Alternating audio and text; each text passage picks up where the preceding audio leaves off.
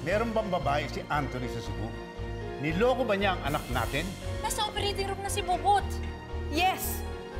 May babae sa Cebu si Anthony. Haharapin nila ang galit ni Henry ngayong Miyerkules. You're a pathetic woman! Pumapayag na kahit anong gawin ng asawa niya! Nag-uusap naman po para maayos po na. Hindi I'll na- try my best. What has Anthony done to you?